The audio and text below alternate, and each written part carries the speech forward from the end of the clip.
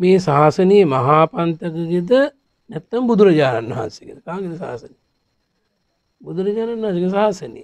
එනම් මේ ශාසනය පහල කළේ මම බුදුරජාණන් වහන්සේ. ඒ නිසා මහා පන්තකගේ ශාසනයක් නෙවේ මේ බුදුරජාණන් වහන්සගේ ශාසනයද ඔහේ යන්න කැමැත්තෙන්ද? නෑ කැමැත්තෙන්දවේ එහෙම නං ලොකු දෙයක් කරන්න ඕන්නෑ මම එකක් කියන්න පුංචි දෙයක් කරන්න පුළුවන් මොකක්ද මේ සුදුරදි කඩක් බුදුරජාණන් වහන්සේ මවල අදුන්නා සුදුරෙදිකට අතට දීලකව මේ සුදුරදි කෑල්ල අරගෙන මෙහෙම පිරිමදින රජෝ හරණ. රජෝ හරණ. රජෝ රජ රජෝ කියලගෙන් රජස් කියන දූ විලිවලට හරිද?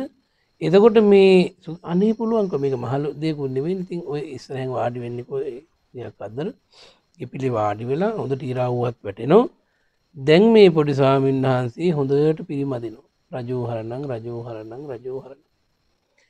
අවුරස්නේ වැඩි වෙනකොට අතට දාඩිය දෑව දාඩිය අර පිරිසිදු සුදුරදි කෑල්ලි තැවරුණ.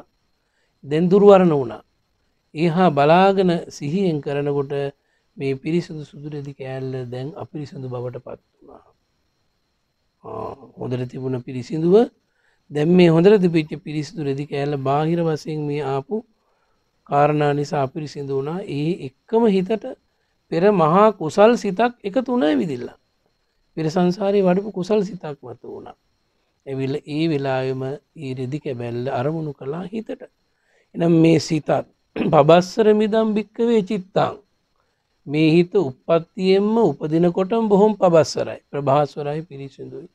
කෙලෙස් මොකක්ත් නැහැ කොම යටපත් වෙලා තියෙන්නේ නමුත් බාහිර වසයෙන් එන උපක්ලේස නිසා මේ අපිරිසිදුව නොමේ හිත. දැන් සිද සුදුරෙදි කඩ අමතකයි දැන් චිත්තානු පස්සනාවට හිත වැටුණ. එකනෙහිම විදරසනාරමුණු වඩලා සව් කෙලෙස් නසා සාමාන්‍ය රහතන් වහන්සේ නමක් නෙවේ ත්‍රිවිද්‍යා සඩ් අභිඥා සිව් පිළිසිම්බියාලාබීව මහරහත් බවටම පත් කොච්චර භාග්‍යන්ද බලන්න? මහරහතන් වහන්ස කෙනෙක් වුණා. මහරහතන් වහන්සේ නමක් වුණා. ඉතින් මේ රහතන් වහන්සේ දැන් අයි ගෙදර වඩින්නෑන විහාරයට වැඩිය. දැන් ඔය ටික සිද්ධ වෙලා තියෙන බුදුරජාණන් වහන්සේ දන්න දැන් රහත් වෙලායින් ගිහින් වඩම්මන් එන්න කිව්වා. ඒ පාර ගිහින් අර දායක තැන ගිහිල්ලා දායක මහත්තයා ගිහින් චුල්ල පන්තක ස්වාමීන් වහන්සේ දානට බුදුරජාණන් වහන්සේ වඩින්න කිව්වම මමයි චුල්ල පන්තක මමයි චුල්ල පන්ත කියලා එක වගේම දහස් දෙනෙක්. දහස් නමක් දහසක්. එකයි බිඳු තුනා දහස් නමක් වෙන හිටිය. එත චුල්ල පන්තක හාවුල්ල දාහක් ඉන්න විහාරම පිරිලා ඒක නමයින්න වඩම්මන් පර ගිහිංගව ස්වාමීණි බුදුරජාණන් වහන්සේ එතන දහස් නමක් ඉන්නවානේ. ඒ පාරකු හොඳයි. ආය ගිහි මතක් කරනකට මමයි චුල්ල පන්ත කියලා මුලින්ම කියන ස්වාමීන් වහස ගතින් අල්ල ගන්නේක අල්ල ගත්තා ඒ පාර නමසි අනු නම දෙනා මතුරු දහන් වුණා. චුල්ල පන්තක ස්වාමීන් වහන්සේ පමණක් වැඩ හිටිය. ඉතින් උන්වහන්සේ වැඩමුවා. දානෙට. රහත් වෙලා තමයි වැඩි ඒකින් අපිට ගණ්ඩ තියෙන උන්වහන්සේට ඒවල මනෝමය ඉරදිය එකන තවත් තමන් වහන්සේ හා සමාන රූප දහස් ගණන් දස් දහස් ගනම් මවන්ඩ පුළුවන්ගේ මනෝම ඉරිද්ධඥානය දියුණු කරගත්ත හැම් පස තමහා සමාන රූප එනිසා එතනිදී පැහැදිලි කරනවා අර ස්වාමීන් වහන්සේට රජෝහරණං රජෝහරණං රජෝහරණං කියල සුදුරෙදි කෑල්ලක් අතර දීලා ඒ පිරිමදිනකොට රහත්වෙන්න තරම් කර්මස්ථානයක් හිතේ වැඩුණි පෙර පූර්ුව ජීවිතයක කරපු බලගත්තු සමාධි කුසලයක විපාක සක්තියක්. එක ජීවිතයක බොහොම ඈත එපෙන ජීවිතයක මේ චුල්ල පන්තක ස්වාමීන් වහන්සේ මහ රජ කෙනෙක් වෙලා වුණ. මේ රජතුමා මසකට වරක් යනෝ චාරිකාව යනෝ ගම්මුන්ගේ ඒවගේ නගර වැසියන්ගේ රට වැසියන්ගේ සුවදුකයන්. සුදු පාඩ හස්තිරාජයක පිට නැගිලා සුදු වස්ටයෙන් සැරසිලා සුදු ජටාවක්කට බැඳගෙන සංචාරය කරන ඕම සංචාරය බොහොම ධර්මික් කෙනෙක්.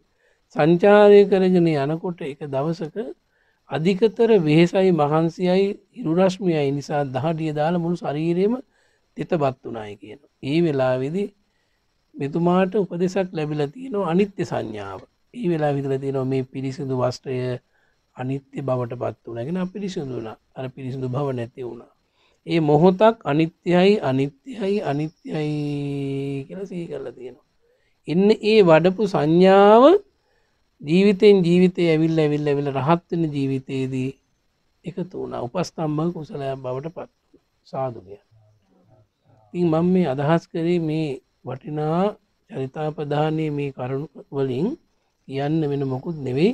එක මොහොතක් අනිත්‍ය සංඥා වැඩු උන්වහන්සේට කල්ප ගානකට ඉස්සල්ල වැඩු ඒ කුසල සත්තිය ඉදිරිපත් වනා අරිහත්වයට පත්වෙන අන්තිම ශනයෙහි තමන් වහන්සේ තුර එහෙනම් අද මට්ට මේ ස්වාමීන් වහන්සලට මේ පාසිකාවරුන්ට අපිට පැයක් හරි පෑ දෙකක් හරි දවසක් හරි වරුවක් හරි උතුම් සීලයක පිහිටාගෙන මේ උතුම් රහත් භූමියකට ඇවිල්ල මේ වනාන්තරයේ මැද මේ සෙනසුන් ඇතුළේ මහා සැපක් කායික මානසික සුවයක් වින්දනය කරමින් බුදුරජාණන් වහන්සේට ජීවිත පූජාවෙන් ධර්මරත්නයට ජීවිත පූජාවෙන් සංගරත්නයට ජීවිත පූජාවෙන් නිවන අවිමුක කරගෙන මේ වඩන සීලාදී ප්‍රතිපත්ති පිරීම අර චුල්ල පන්තක මහාස්වාමීන් වහන්සේට මහරහතන් වහන්සේට අරිහත්වය ලබාදින්ට උපකාර වනාසේ අපටත් ඒ කාන්තයම උපකාරව පවතිනවා.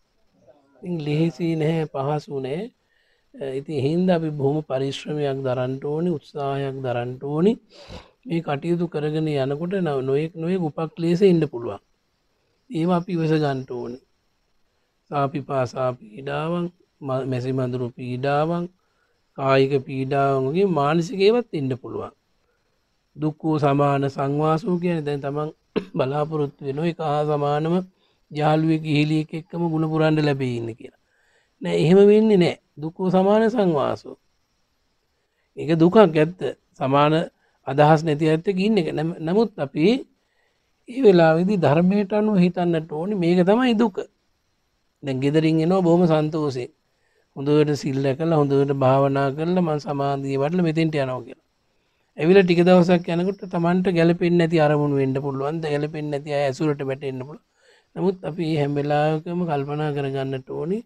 ඒම පිළිබඳව උපදෙස් අරගෙන ගුරුවරුන්ට හැම්බෙලාම කියන්න ඕන. උපදෙස් අරගෙන ඒ කරුණු කාරණා පිළිබඳව තමන්ගේ හිතට ගන්න නැති ඒව සංඥාවල් පමණ එම නැත්තන් ඒවා රූපක පමණයි කියලා බැහැර කරන්න පුළුවන්ගේ තමන් හිත හදාගන්නඩ නැත මෙතන හදාගන්නඩ බැරිවුණොත් ගීගෙදර කෝමත් හදාගන්න බෑ. එතුට ආයම වැටෙන් අපායට එන ගීගෙදර අතඇල්ල ආව කියලා කියන්නේ ශාසනය තුළට මෙතන ගුණපුරන්ඩ සිල් සමාදන් වෙලා හරි දවසකට හරි ලොකු ජයග්‍රහණයක්. දැන් ගී ගෙදර ගැන බලන්නකෝ. උයි තරම් ගිනි ඇවිලෙනවද? දැන් මේ උපාස කම්මල දැන් ගෙදර ඉන්නකොට උයන්ඩ ඕනෑ පියන්ඩ ඕනි පොලේ අන්ඩ ඕනි තව තව නොයෙක් බාහිර වැඩ කරන්න ඕනි. ය කෝමටිකි වෙරනකොට හිත වඩන්ඩ වෙලාවක් කම්පින්නේ මෙහෙම නෑනේ කෑමටික හම්බෙනවා දාන වසේ ඊළඟට තමන්ට චිත්ත විවේකයේ සඳහා උපරිම කාලය තියෙන විවේකේ වඩන්ඩ පුළුවන්. එනිසා හොඳට මදක තියාගන්න දැනුම් තේරුම් තියෙන මේ වෙලාවෙදී බුදුරජාණන් වහන්සේගේ ශාසනය කල්්‍යයාන මිත්‍ර ස්වාමීන් වහන්සේලා ආශ්‍රය කරගෙන දැන් ගුණපුරාගන්ට උතුම් අරිහත් භූමියක වාසනාව ලැබුණා එනිසා මේ ගෙවෙන හැම තප්පරයක්ම ආදර්ශවන්තව සැලකිලිවන්තව සිහිනුවනින් යුක්තව ඉවසීමෙන් කටයුතු කරන්නට ඕනි එතකොට අපි හැමෝටම අපේ ජීවිතවල යන් සත්‍යයක් ධර්ම සත්‍යයක් උපදවගෙන සතුටින් අපේ ජීවිත ගමන නිමා කරගන්නට පුළුවන්කම තියෙනවා. ඒ නිසා අපිට තියෙන වටිනාමදී තමයි සීල සමාධි ප්‍රඥා කියන මෙන්න මේ ශික්ෂා ධර්මයන්. සිල්වත් වෙලා සමාධි භාවනා වඩලා උතුම් ප්‍රඥාව සඳහා අවශ්‍ය කන විපස්සනා නුවන දියුණු කරගන්ට හැම දෙනාට ලැබේවා කෙන අදහස් ඇති කරගණ්ඩ ඉතිං අද කර්මස්ථානය ලබා දුන්නේ රිදිගමින්දා ලෝක ස්වාමීන් වහන්සේටත් මේ ද උපාසිකාවරුන්ටත් භික්‍ෂූන් වහන්සේලාටත් අපි හැමෝටමත් संसार